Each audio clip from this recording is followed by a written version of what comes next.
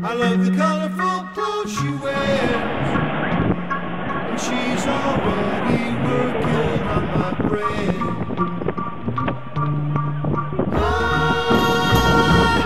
only look in her eyes, but I picked up something I just can't explain.